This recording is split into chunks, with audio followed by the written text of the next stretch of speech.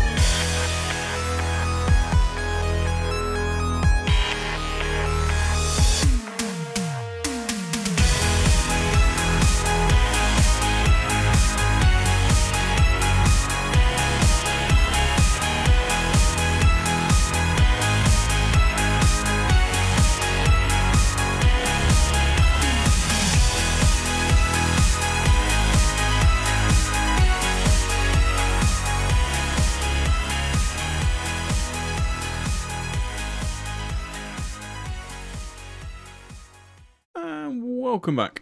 As you can see, we created a villager area for farmers to come in and do farming. Uh, there is a lack of farmers here right now. We have also created an area that the baby villagers will try and get to, because obviously they love jumping up and down on beds.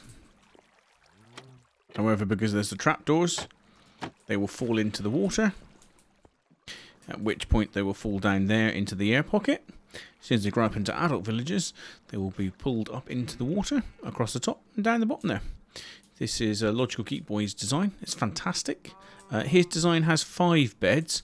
Unfortunately, because I've built the villager lifter so close, it means I've actually lost one bed space. So we'll see if four works. And um, we don't need that many villagers, so we'll see how we get on with it. Also, this isn't terribly safe from mobs, so that's something else that we're going to be looking at maybe a little bit later on to try and get this working. First things first, let's see if we can get some villagers up here. Of course, getting villagers and wrangling villagers, everybody knows, is a nightmare.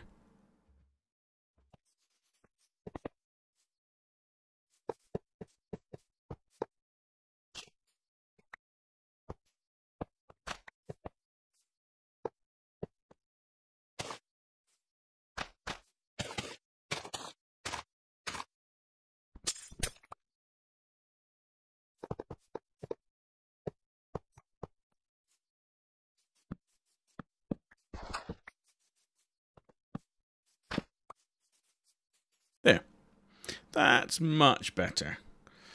Suppose the proof of the pudding is in the villager roller coaster ring? Let's try that. Luckily, we've got some crash test villagers.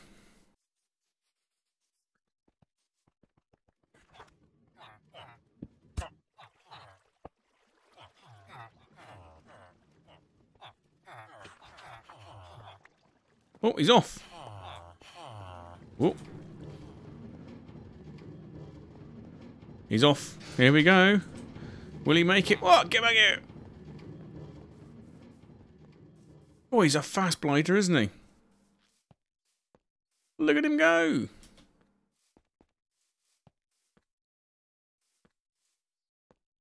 Ha It works. Like your new home? Let's bring one more up.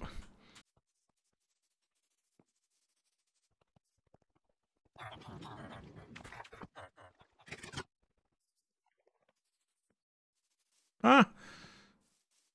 No! Ooh. Okay. Mistakes were made.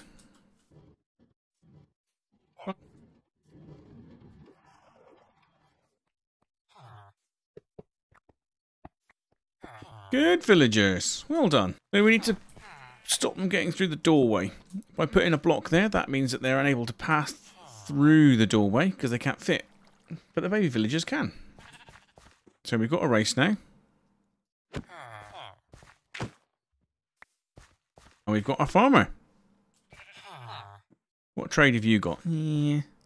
It's not a great I mean it doesn't it doesn't really matter what trade they've got. But if we can find a trade that is actually related to something that we're going to be creating. Uh, yeah. Let's do that. Right, so you're locked in now. Let's throw you some carrots. And you can be on your way. I feel like I owe all of you watching an apology. Especially those that have seen the first episode. My kids watched the first episode and told me off straight away. They said, You haven't closed the door. And they're right. They said, You haven't washed your hands. And they're right. So, I do apologise for that. They even said, You didn't put the toilet seat down. Which I have since done. So, because my kids gave me so much grief about it, I'm going to have to take down this toilet and move it somewhere else.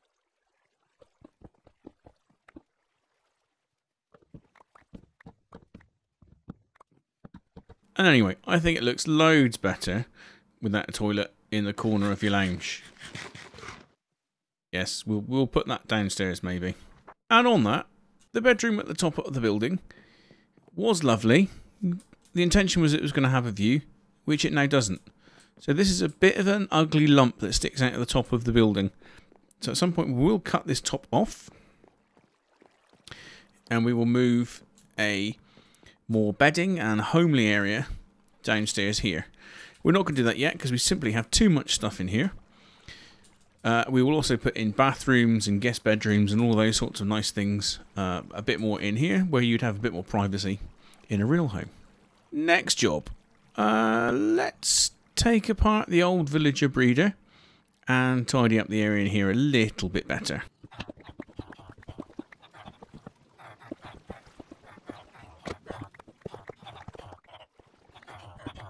Okay, look at this. So much more space for activities. Um, oh. Maybe too much space for activities? Let's quickly fix that. Much better. So much cleaner. There, the tidying is starting. Also, there's a chest that's missing over there. That's also something that's been tidied up. We're getting there. We're getting gooder. Let's go and check in with the villagers, see how they're getting on. Excellent news. Look at that. Bosh. Straight away, baby villager. And what's the baby villager going to go and do? Oh! That's a shame, isn't it? Splendid. We'll take it. So that's worked quite well. We've got our villagers in there doing their thing. Farming and, you know, making carrots and eating carrots and making little villagers.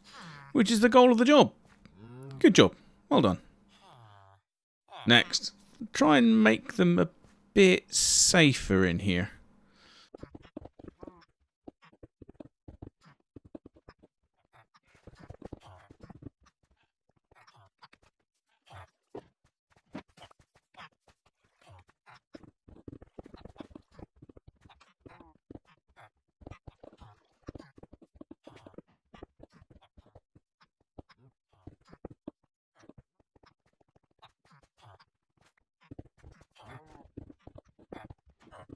Okay, welcome back again.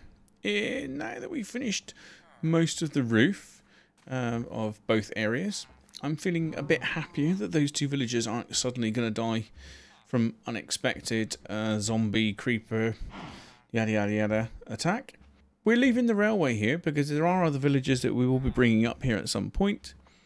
Uh, we're not going to bring them up yet because they're nice and safe where they are. We need to build a trading hall first.